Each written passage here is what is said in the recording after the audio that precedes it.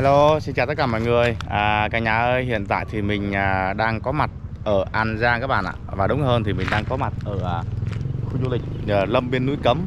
Và trong ngày ờ, trong video ngày hôm nay thì mình sẽ có một cái chuyến à, trải nghiệm khám phá du lịch à, núi Cấm An Giang nhé à, Hiện tại thì à, theo như mình tìm hiểu một số thông tin trước khi đến đây thì à, khi mà các bạn muốn à, khám phá du lịch à, núi Cấm An Giang thì à, lên à, các bạn à, lên núi thì các bạn sẽ có ba hình thức. Cái thứ nhất là các bạn có thể à, mua à, mua vé à, tham quan sau đó thì à, đi bộ lên đi bộ từ từ lên lên đỉnh núi. Đấy cách thứ hai là các bạn có thể thuê xe ôm à, dịch vụ xe ôm. Các bạn sẽ chở lên à, chở các bạn lên cái khu trọng tâm của cái du lịch phía trên núi. Và cách cuối cùng là các bạn có thể là mua cáp treo đi lên đi thẳng lên trên núi. Hôm nay thì mình cũng muốn khám phá tương đối cho nên là mình sẽ chọn hai hình thức. Thứ thứ nhất là mình sẽ mua à, một chuyến à, cáp treo đi chiều đi lên. Sau đó thì khi lúc đi xuống thì mình sẽ mua cái à, à, mình sẽ nhờ cái dịch vụ ở xe ôm chở xuống đây để mình khám phá cung đường xuống đây nó như thế nào. À, còn cái dịch còn cái cách mà đi bộ thì à, chắc có khi là hẹn dịp khác. À, rồi nhá các bạn nhá bây giờ thì mình sẽ vào phía trong kia mình à, mua vé và mình bắt đầu chuyến khám phá ngày hôm nay nha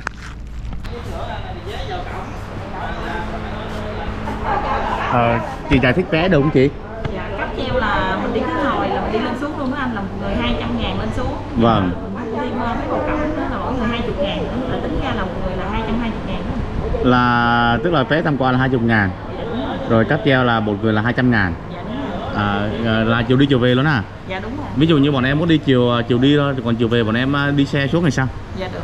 Dạ, à, ở đây là bên em là chiều lên uh, cáp là 140 À. rồi là phí tham quan 20 nữa là 160 trăm sáu. à? Rồi bên em là có giấy xe lữ hành cho mình xuống là xe du lịch 16 chỗ đó.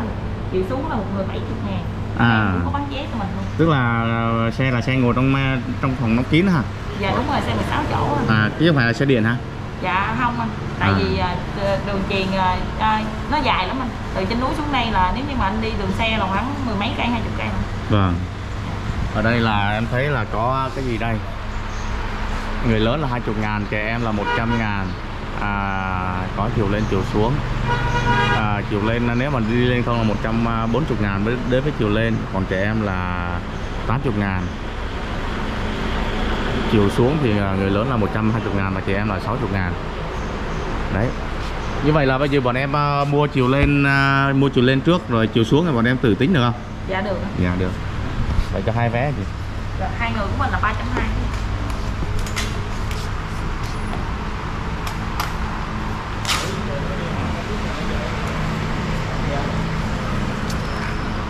cái này cáp treo của mình dài không chị?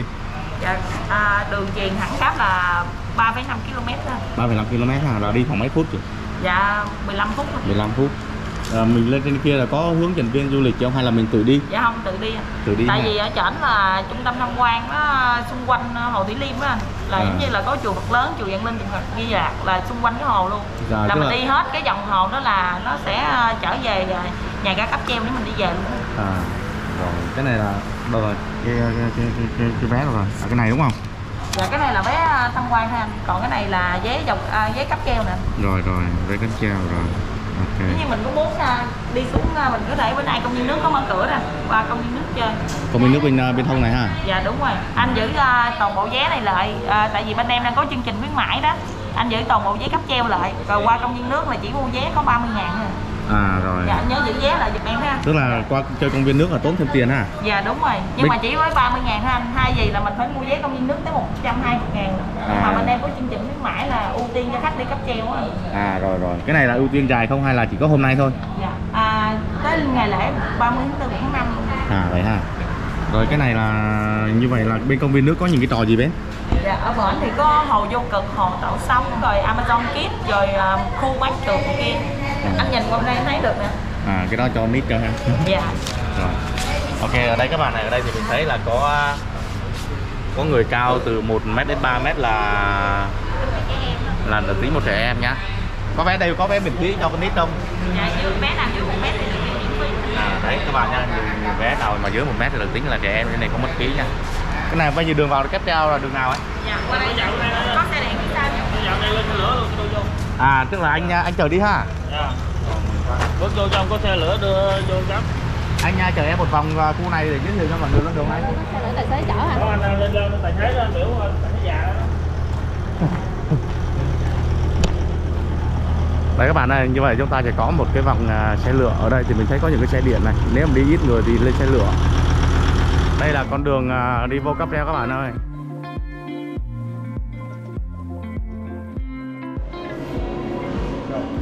Sao hôm nay trong này người ta mở nhạc nhiều vậy? mấy người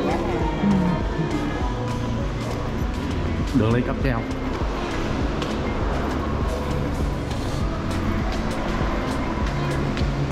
Đây là cáp treo các bạn ơi.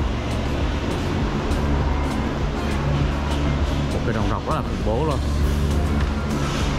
Cái tuyến đi cáp treo này thì kéo dài tới 15 phút.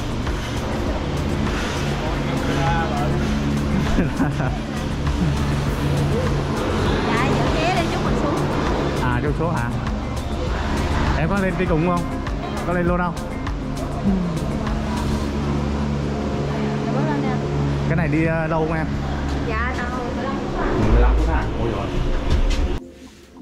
Cáp treo này đi êm hơn ờ, cái cáp treo mà núi sao các bạn ạ Bây giờ thì chúng ta đang đi qua khu vực hồ Thanh Long Mình thấy cái hồ có sân với đập luôn núi luôn các bạn ạ. Ở núi nó hình thành cái hồ.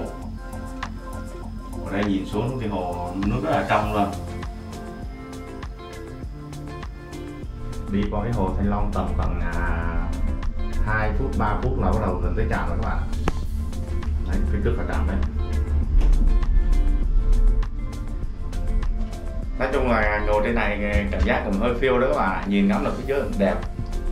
Khá là đẹp. Một cái màu xanh mướt luôn cái ờ, ờ, cái dây cáp bên này nó ít lắm thì nó có, gọi là, núi nó bao xung quanh nhá, cho nên là gió nó ít vào được á, cho nên là mình ở đi cáp bên này thì nó có vẻ êm hơn. Ta là nóng các bạn ngồi trong này lấy nhiều mồ hôi nó bốc ra, đi bốc dưới mát lên, càng lên cao, nắng nó chiếu vào không có che nắng quá. Các bạn có thể mua cái nón đi nhá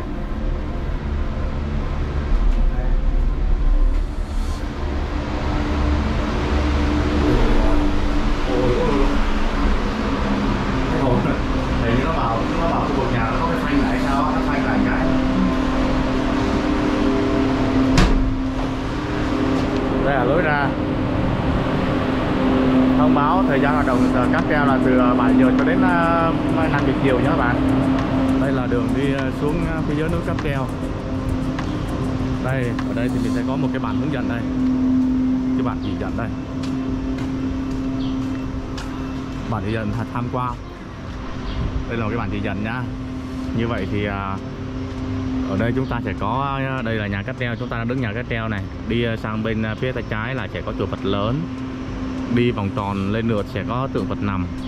Rồi đi uh, tiếp theo sẽ có tượng Phật Di Lạc và đi tầm 580 m xuống sẽ có chùa Vạn Linh và đi 200 à, đi 500 m xuống nữa thì à, ngay gần cấp treo luôn sẽ có xe trung chuyển cho các bạn đi xuống.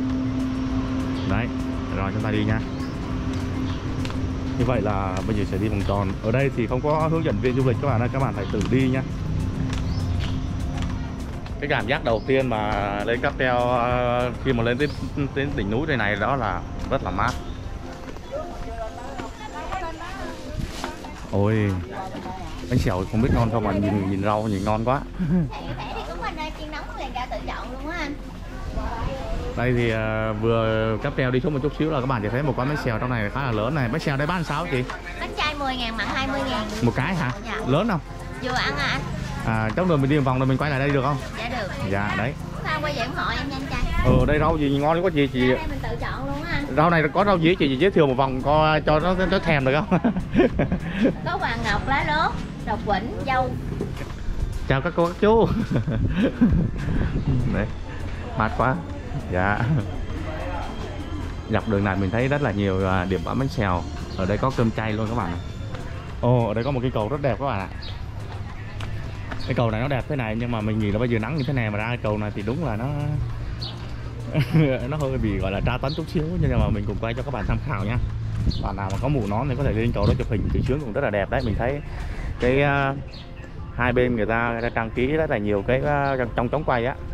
Cái đó chụp hình thì có chiều sâu và đẹp lắm. Đường lên à, chị ơi đường lên à, ông Phật Di Lạc ở đường này luôn đó chị. Rồi cảm ơn chị. Nón này bao nhiêu cái đây.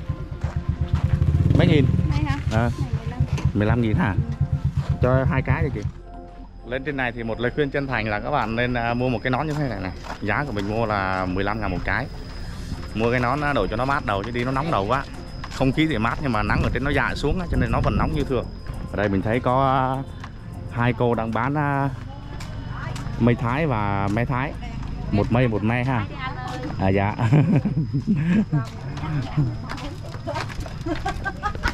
Tham quan vui không cô? Trên nó đẹp không? Trên nó đẹp không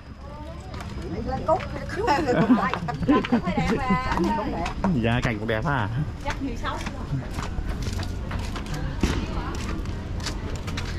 Ây à bên hông là một cái hồ.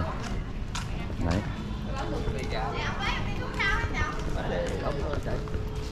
Ở đây là cái khu ờ, một khu tâm linh ờ, lễ Phật nha các bạn. Bạn nào có lên đây lễ Phật thì có thể lên đây nhá ở đây là thiền viện của chùa Phật lớn đấy, ở đây thì các bạn vô lễ Phật thì bỏ giày dép ở ngoài nhá.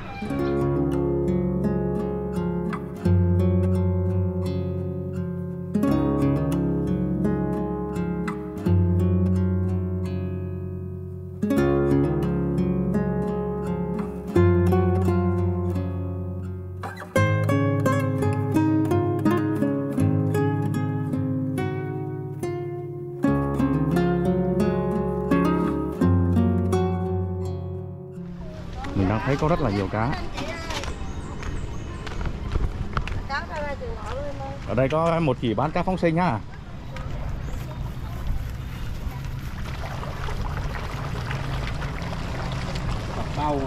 Mấy con cá này nó hiền nhỉ? À hiền, nó hiền nhưng mà thấy tay người nó vẫn sợ. Nên nó cắn tay mình không ta ấy à nó hiền nhưng mà không không chịu đụng vào nó đâu nha. Cho cá ăn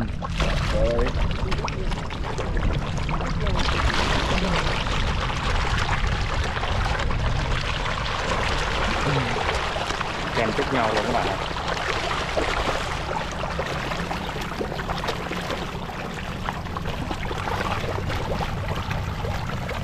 Ở đây toàn là cá chép không có cá có cá chê bự không? cá cá chê cá chép và cá rô phi chú à Cá rô phi, cá rô phi, dạ cá phi á. đấy Không có cá không phải cá chê, cá rô ấy cá cá phi không có cá. cá rô phi và cá chép dạ rất là nhiều nhiều là cá Đi quay là nào, không luyện cho coi. dạ cảm ơn chú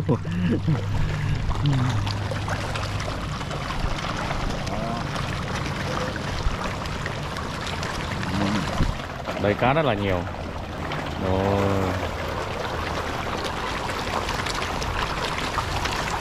cá ở đây là người ta người ta phóng sinh thôi là nó nó nó lớn lên luôn chú ha đấy. Đây các bạn này đây là nhìn à, con cá này. Cá cô ở trên bờ người ta bán á người ta phóng sinh xuống đây này. Rồi con nào à, sống thì sống con nào mà, ấy chết chết mà con nào sống thì nó lớn lên. Đấy. Nó lớn lên trong cái hồ này luôn. Đó, đó trời chưa? quá trời cá luôn. Đó.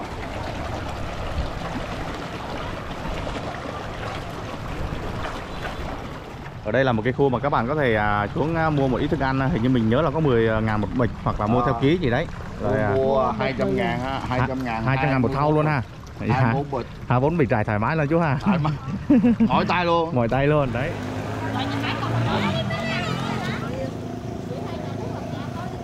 đi mỏi chân thì các bạn có thể ngồi nghỉ nha hoặc xuống ngắm cá cũng rất là tuyệt vời nha nói chung ở đây khu trên này khá là mát các bạn ạ ngoài những cái trời nặng vùng nắng đó thì cây cối nó nhiều cho nên nó khá là mát ở đây có một cái cầu rất là đẹp.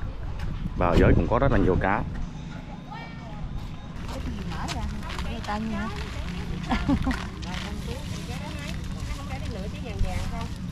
Mẹ bán nhiều ký chị?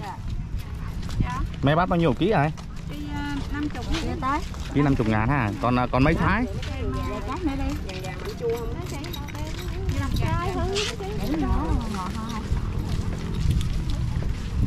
Mấy thái nhiều ký chị? May cũng 50 luôn em à cái thứ 50 ha Cái này lép ai biết? Ngon ở đây có mây thái và me thái. Cái này là của vườn mình đưa ra luôn đó chị. Mua ở Campuchia em mua Campuchia ha. Cho em ký này đi. Mua mua đâu đi. Ngọt không chị? Đây, cái này loại ngọt đấy em. Mày cho em ăn thử được không?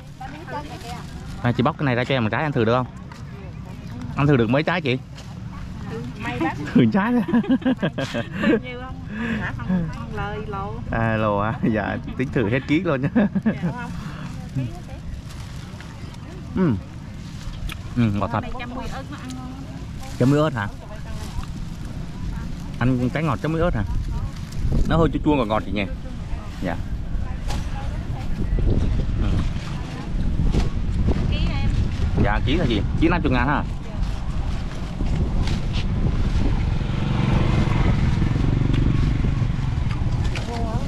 Ôi.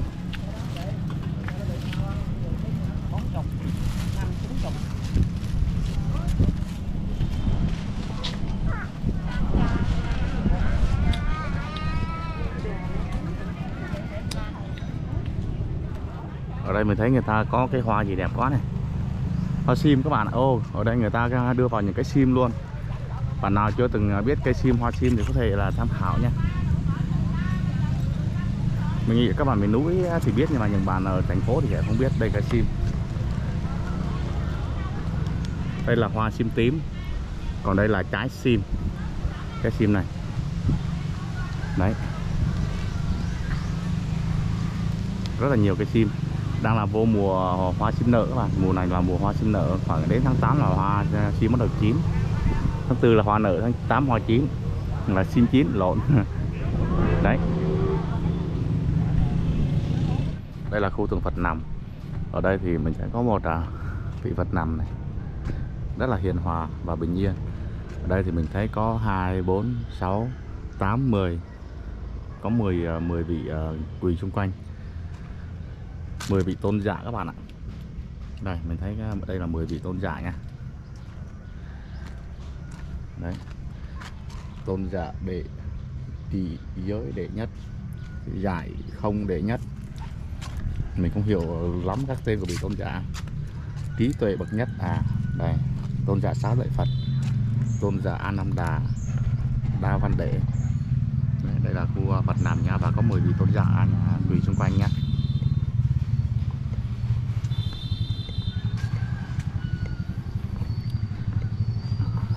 Phật nằm rất là bình yên. Và đằng sau à, chùa Phật nằm thì mình thấy có một cái bức tường rất là đẹp. Một bức tường được chạm khắc rất bức tường này là bức tường người ta đắp á, rất là đẹp. Như một bức tranh sơn thủy. Và cũng có các vị Phật ở phía sau. Giống như mà tượng à, Phật nằm mình dựa à, lưng vào núi vậy các bạn tới đây là chúng ta chuẩn bị đến khu vực ông à, Phật Di Lạc.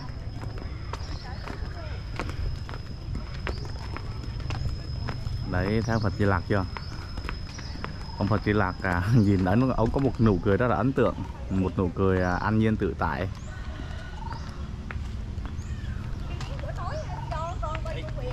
Một nụ cười không còn sầu bi. Một cái đặc điểm mà rất là dễ dễ nhận ra Phật Di Lạc đó là cái bụng to và cái à, cái nụ cười. Cái này thì thấy có một cô bé đang bán cà phê. Đi xuống này rồi đi xuống hồ. cậu ơi sắm gan của cậu ơi. Ồ, con này là con gì đấy chú? Con con thổi đã tiếng chim mà chú? Dạ. Là con này con nào với con nào à? đúng rồi con nào nhìn đấy để nước vô À phải cho nước vô nó mới kêu à? Ờ, Nó mới... tiếng Con này bán bao nhiêu con chú? hai chục Hai chục. Ờ, thử nè À phải cho nước vô nó mới kêu ha.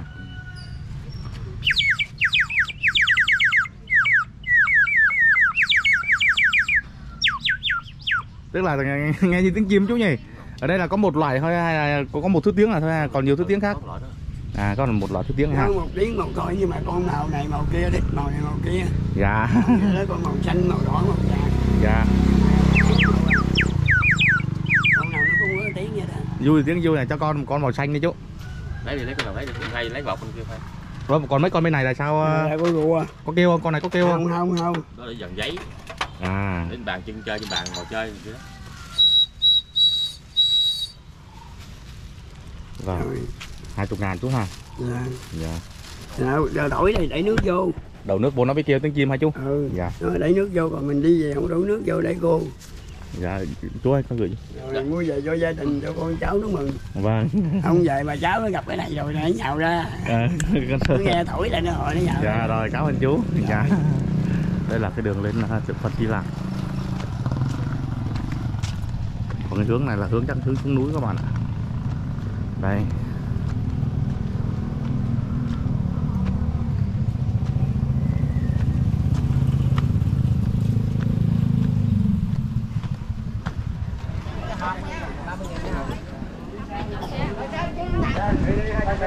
Xe đây nè Phật Di Lặc ông cười tươi quá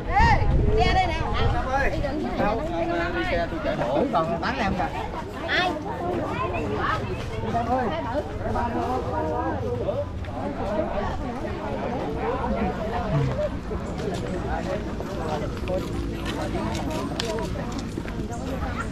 Phía trong đó có gì không cô nhỉ? Ở trong đó. Chưa vô không biết. Phía dưới á. Cô chưa vô. Cô chưa vô hả chú ơi cho con hỏi là phía trong đó là có cái gì không hả? Ở, ở trong trong có tượng thạch trong hả? Trong đó có họ nữa à dạ. Để mình vô phía trong luôn các bạn. Ông Phật Di Lão ông ngồi trên một cái bệ rồng. Ông cười rất là tươi. Còn đi thẳng vào phía trong này thì nghe anh thợ ảnh đó là sẽ có một cái thừa cúng trong này nữa. Leo núi hơi mệt các bạn ạ.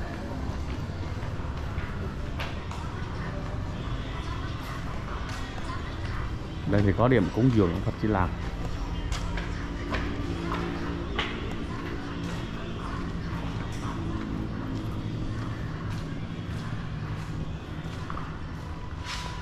Ở đây thì có một cái hình à, ông à, Phật Di Lặc, ông đang cầm một cái túi, ông đang kéo một cái túi. Xong rồi ở trên nó có mấy đứa trẻ nó đùa trên vừa kéo vừa cười rất là tươi hình trên này mình thấy đang à, xây dựng cái gì các bạn này? Đang còn có những cái cảnh giáo cho có vợ này. Hình như trong sau này người ta đang đắp một cái cái bầu trời phía trên hay sao á. À, người ta đang đắp một cái bầu trời phía trên ông Di Lặc á.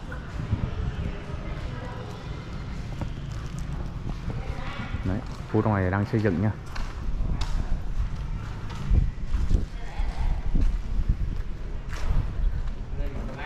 đấy phía trong, phía sau nữa, phía ra phía sau luôn. Khu trong này là một cái khu mà đang xây dựng, chưa có làm xong. Còn mình nghĩ ở đây sẽ có một cái tiểu cảnh này. Đây sẽ có một cái hồ đây là người ta sẽ làm cái hồ tiểu cảnh đây quá.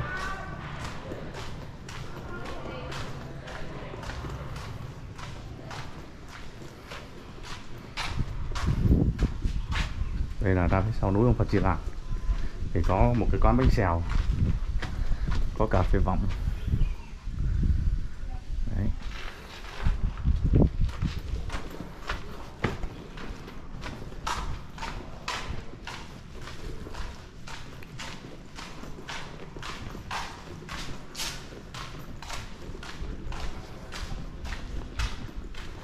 này là chưa hoàn thành chưa xây xong đó các bạn ạ. Đang xây. Dưới này thì thấy có một anh à, đang cắt cái dài thằng mỹ rồi. Này cắt tên rồi. Anh cái này à, hai cái thằng mi này nó cắt chữ mi à, một chữ màu à. À vậy hả? Là quay youtube cái gì đúng rồi. Kênh gì đi đâu ăn gì? À, quay đâu cái nào quay nào. Đâu quay đâu. Hello. Hôm nay đi chơi đi chơi núi cấm à? Mình đến từ cà mau nha mọi người. Ờ từ, từ cà mau lên đây hả? Cà mau nha. Thấy cảnh núi cấm làm sao rất đẹp. Rất đẹp à đi được nhiều chưa? Đi hết núi chưa? Hết luôn rồi đó. Hết rồi à? Dạ, đấy đang uh, đi đâu ăn gì? Túi xịt cái gặp liền luôn á.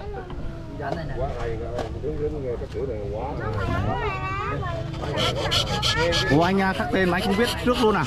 không dễ chứ Ôi, anh này vậy là cao thủ rồi các bạn ơi. cao thủ thiệt. Cao thủ rồi, cao thủ rồi, gặp phải cao thủ rồi. Tôi cũng chưa thì đó giờ chưa thấy người nào cao hơn ông nội này luôn Đúng rồi.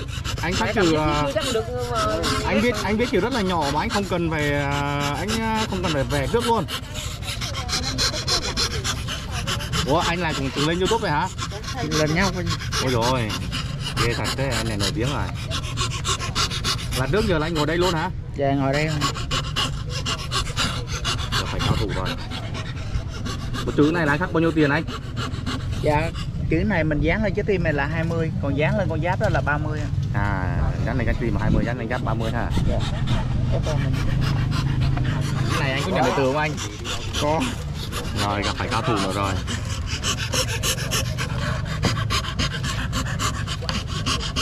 Anh hay một cái là anh không cần là gọi là anh vẽ trước mà anh có thể cắt hay mà ra đẹp được rất là hay luôn đấy mình làm quen thì nó dễ. Dạ. mình nhớ hết các chữ. Nhớ luôn à nhớ hết các chữ luôn. Dạ, nhớ hết các chữ là nó dễ. Mà nhớ là nếu mình khắc này là thường thường nó ngược với cái, cái, cái quy định đúng không anh? Dạ, đúng. Wow, thực sự là anh vừa nhớ chữ cái các bạn này vừa nhớ cái ngược của nó nữa.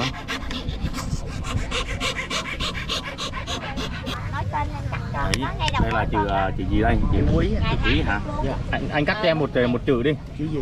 À, anh cắt cho em chữ ái hương đi ái hương ha Vâng. ái hương anh dán lên đâu? Anh gắn lên trái tim đi. Trái tim. Trái tim đôi tim đơn anh. tim đôi đi anh nha tim đôi cho nó. Rồi. đem ra anh làm cho. Hai tên đây là 40 nha. Hai tên là 40 ạ? Dạ.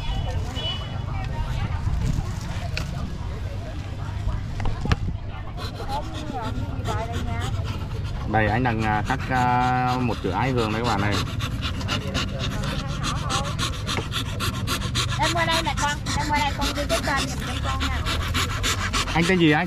Dạ anh tên Thanh. Anh Thanh đây là anh Thanh các bạn ạ. Mình làm cái nghề này. Mình làm nghề này lâu chưa anh? Dạ em làm được 7 năm. 7 năm rồi. Ôi.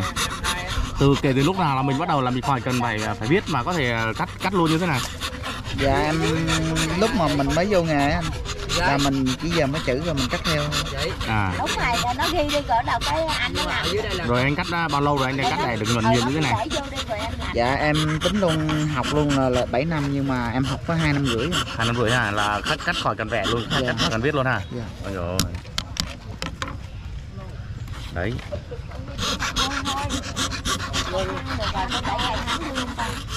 Đi hai thôi cái gỗ này cái miếng gỗ này là gỗ gì anh nhỉ? Dạ này là gáo vàng. Gáo vàng ha dạ gáo vàng. Vâng gáo vàng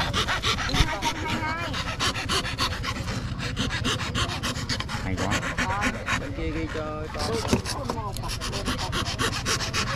Cái cưa này cái lưỡi này bắn gì mà nó bén ghê nhỉ?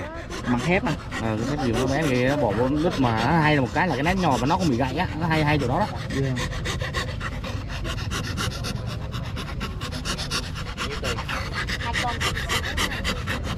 Các bạn mà đi núi cấm thì à, muốn à, khắc tên à, hay là muốn lưu lại một cái tên của mình bằng gỗ thì các bạn có thể lên tên ngay chỗ Phật Di Lạc nha dưới chân của ông Phật Di Lạc luôn. Trước mặt Phật Di Lạc luôn thì có một anh à, anh Thanh đúng không anh? Dạ đúng. Đấy anh khắc chữ rất là đẹp.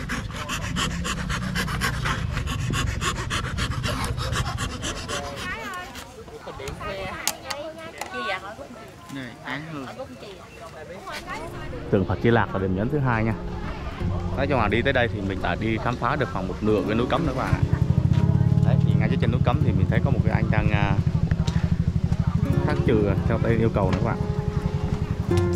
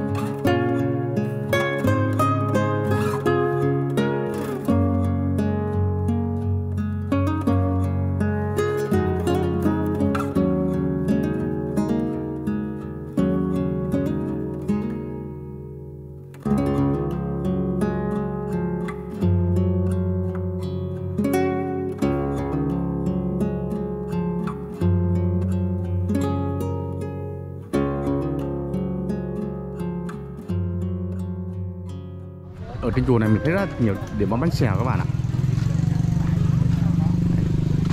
Đi xuống hồ.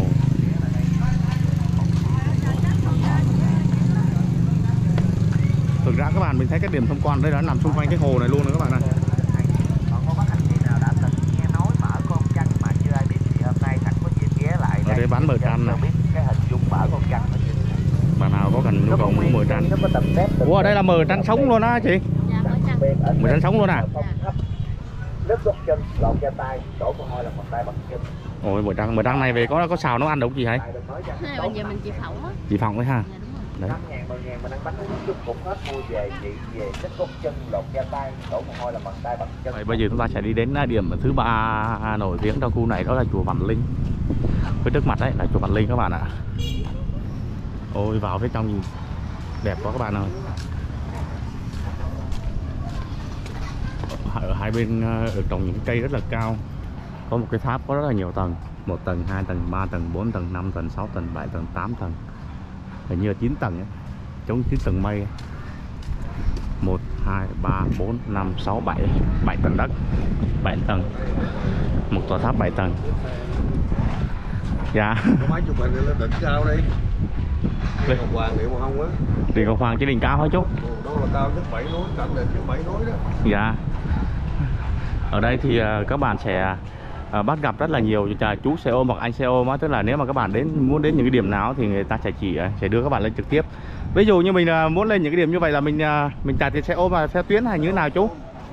Ví dụ- nó đỉnh cao mình mình chụp cảnh nó đẹp lắm Vâng, như vậy là ví dụ như những cái bạn mà đi du lịch là muốn mướn các chú như vậy là giá như thế nào vậy chú?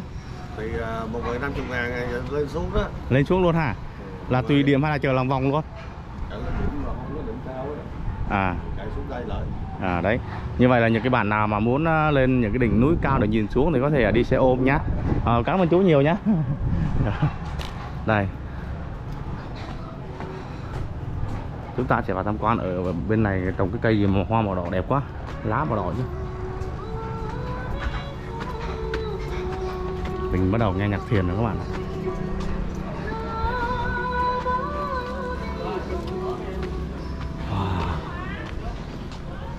Trên này khá là đẹp.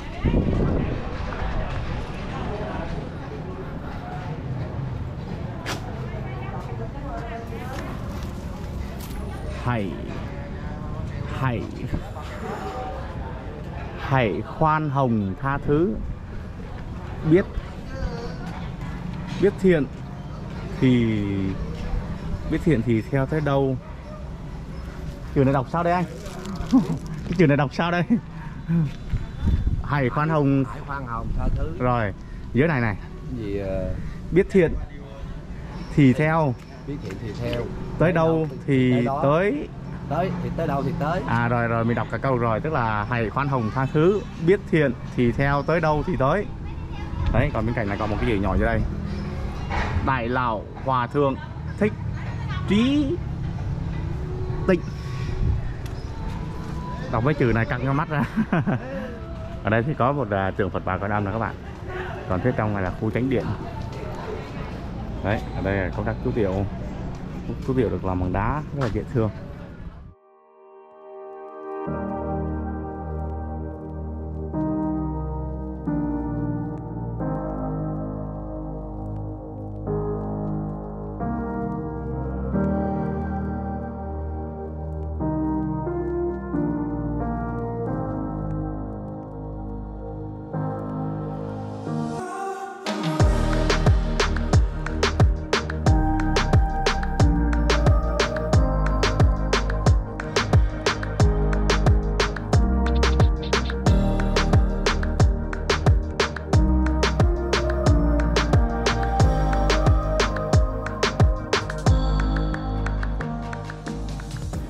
Ngay bước ra chân chùa Bản Linh luôn các bạn này dọc đường đây mình cũng thấy có rất là nhiều quán bánh xèo. Ở đây mình à, có cảm giác người ta chủ mua mua món bánh xèo hay sao á. Người ta bán bánh xèo rất là nhiều. Và đặc biệt ở đây là bánh xèo rau rừng nha các bạn. Nó hay được một cái ở đây là bánh xèo rau rừng. Đấy có rất là nhiều loại rau tươi xanh luôn rất là ngon. Đấy ở đây cũng đã thêm một à, vừa quán trọ vừa bánh xèo này. Bánh xèo san sát nhau. Dạ. Đấy. Rồi có quán cà phê luôn có cà phê view vip cho các bạn luôn.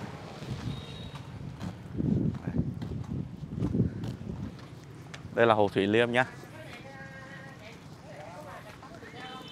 Lên đây thì các bạn rất là dễ à, bắt gặp những à, hình ảnh các à, anh hoặc các chú xe ôm á. Nói là sẽ chở các bạn đi nhìn lên những cái điểm nào đó rất là đẹp ở trên này. Nếu bạn nào muốn khám phá thêm thì cũng được. Từ cái hồ này thì chúng ta có thể nhìn xuyên qua, có thể thấy được ông Phật Di Lặc ở bên kia cười rất là tươi đấy. Các bạn muốn coi cá thì à, các bạn có thể xuống coi người ta thả hoặc là các bạn có thể tự mua một bịch như thế này nhá.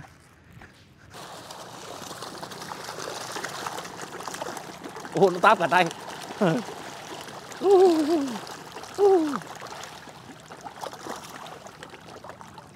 Các em rất là ham ăn. Ở đây là cái khu vực này là cá người ta bán ở trên ờ, bờ hồ các bạn Cá người ta bán phóng xanh nhá Xong là người ta thả xuống cái đây này. Xong dần dần dần nó lớn là nó lớn hết ờ, ở trong này luôn. Cá này hàng năm người ta có bắt không cô hả?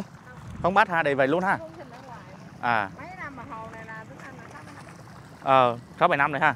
Rồi cá mà đây thì sao? Cá mà lớn quá thì sao? này này là cái à, nó hao cái lắm rồi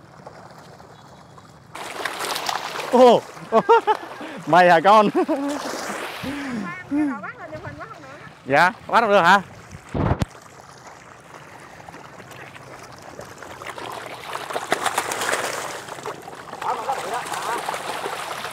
Ồ, ồ.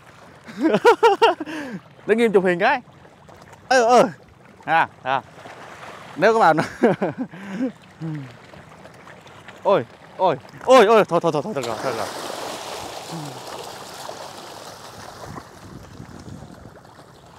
Khu này khá thú vị cho các bạn. nước không thôi để rồi không? Ờ đúng rồi, nước không hôi ha. sạch luôn. Nước sạch. Dạ.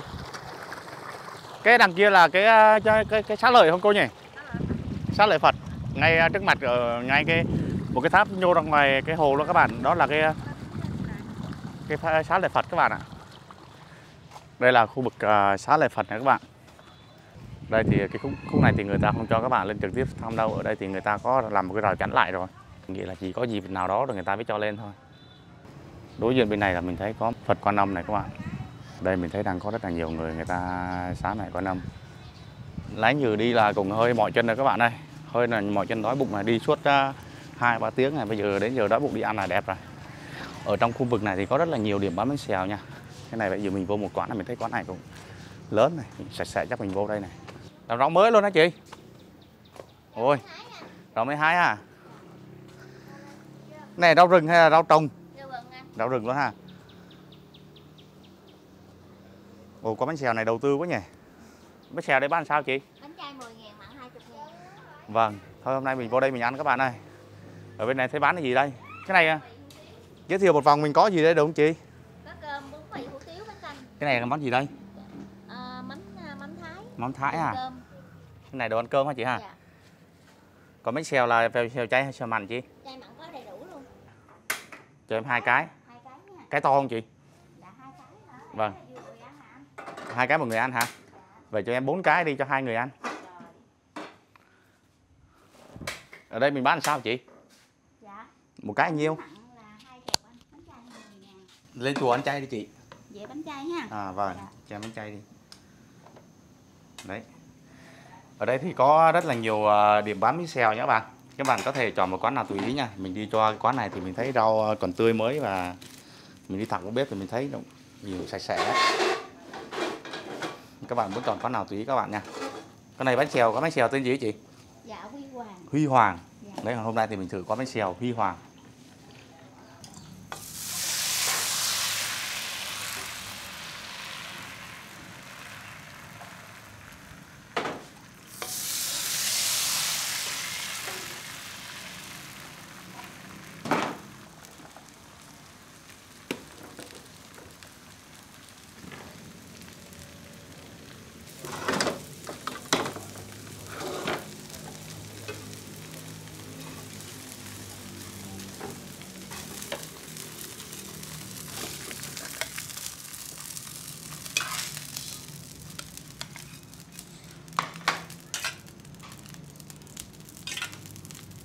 Nãy giờ đi vòng núi quay mà tát hết cả mồ hôi.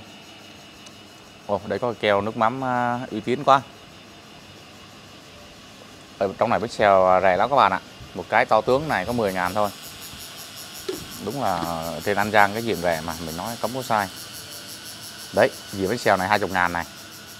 Ăn là no căng luôn á. Còn rau là tự chọn ăn rau miễn phí nha, rau thoải mái ăn ăn biệt nghỉ muốn lấy nhiều lấy. Ở đằng kia có một cái à, cái cái cái, cái sẹt rau á, một cái quầy rau á, tự chọn muốn lấy nhiều lấy nha. Ở đây ăn rau không có tính tiền. Muốn ăn rau gì lấy rau đó. Ở đây mình thấy lá gì đây? Đúng lá rừng người ta.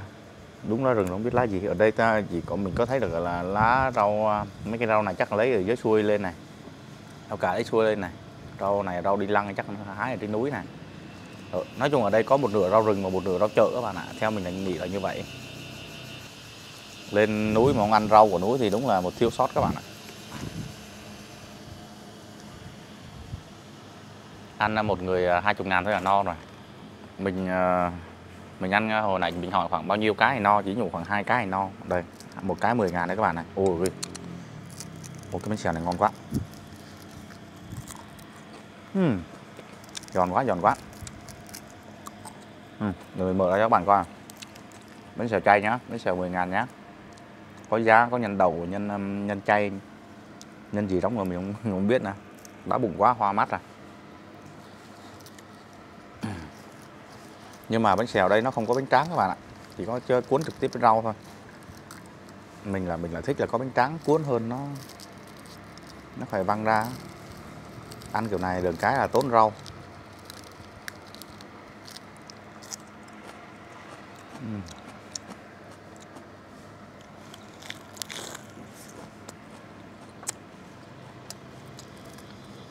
Vừa ngon vừa rẻ vừa ngon. Núi cấm cũng nhìn đẹp. Nó đẹp bởi cái khung cảnh các bạn khung cảnh nó hùng vĩ. Và nó như nó, tất cả nó dựa vào núi á. Cho nên mình nhìn cái bao quát là cái núi cấm rất là đẹp. Nó rất là hùng vĩ luôn. Núi cấm có thể được nói, gọi là cái ngọn núi đẹp nhất trong cái, gọi là bảy núi của An Giang đó các bạn ạ. Lên núi cấm thì bán rất là nhiều đồ. Đồ ăn cũng có và đồ à, à, đồ lưu niệm cũng có giá thì mình thấy nó giá nó khá là rẻ. Dọc đường mình đi à, núi à, đi tham quan mình thấy có rất là nhiều các anh xe ôm rồi các chú bác à, tài xế á, à, mời mình đi lên những cái khu khác của cái núi cấm này tức là những cái khu cao hơn những cái khu gọi là những cái vùng núi phía cao cao với trên luôn đến đỉnh luôn á. Nhưng mà mình đi hết cái khu này mình thấy là cũng khá là mệt khá là nhiều rồi. Nếu bạn nào mà đi tham quan này còn nhiều sức có thể đi các chú đấy thử xem như thế nào nha. Còn mà bạn nào mà cảm thấy đi hết một vòng này, tham quan hết một vòng dưới này cái đã. Nếu còn sức thì đi tiếp, mà còn sức thì thôi, mình ở dưới này thôi. Chứ không mình lên trên kia thì như các chú lấy cũng à, một vé như và một lần lên xuống như vậy cũng mấy chục ngàn đấy. Mà mình chưa có lên cũng chưa, cho nên cũng chưa có đánh giá được cho các bạn là có an toàn hay không. Ở đây thì mình cảm thấy núi cấm là cái nơi mà gọi là du lịch à, vừa có tâm linh lại vừa có phong cảnh. Tức là các bạn có vừa có thể ngắm cảnh lại vừa có thể à, thưởng thức tâm về tâm linh, du lịch tâm linh, vừa có thể du lịch về à, ngắm cảnh đường núi rất là đẹp.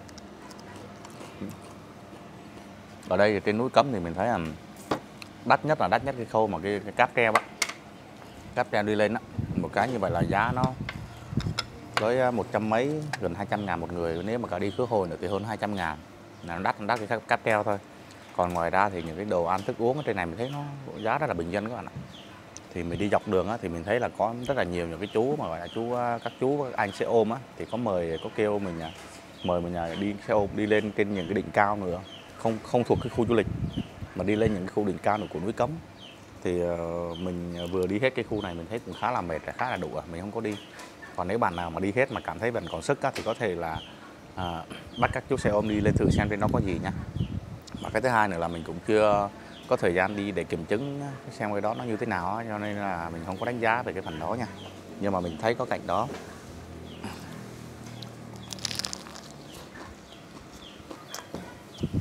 Mà phải nói bánh xèo rau rừng ngon các bạn. Thì nước cấm thì nếu có cơ hội thì ăn bánh xèo rau rừng. Bánh xèo rau ở dưới là toàn bánh xèo rau chợ không à? Còn đây thì vừa có rau chợ, vừa có rau rừng, ăn rất là ngon. À, à, rồi các bạn ơi, như vậy là mình cũng đã vừa có một cái chuyến à, khám phá trải nghiệm thực tế nuôi núi Cấm ăn Giang nhé. Thì mình thấy nuôi Cấm ăn Giang đúng là rất là đẹp các bạn ạ. Nó vừa có cái đẹp của tâm linh lại vừa có cái đẹp của tự nhiên. Thắng cảnh nó dùng nó rất là đẹp. ở đây thì mình thấy cái cái giá về cái giá cá thì mình nghĩ là cái phần đắt nhất là cái phần về liên quan đến phần di chuyển các bạn ạ về phần à, giá của cáp treo và về phần giá của à, đi xuống thì nó chiếm đa đa số cái, cái kinh phí thôi. Còn ngoài ra thì à, những cái đồ ăn thức uống ở trên đó mình thấy rất là bình dân và không có tình trạng chặt chém nha. Đấy. Ở trên đó thì các bạn à, lên đó thì à, vừa có thể nghỉ ngơi ngắm cảnh rồi có thể à, thờ cúng tâm linh tùy.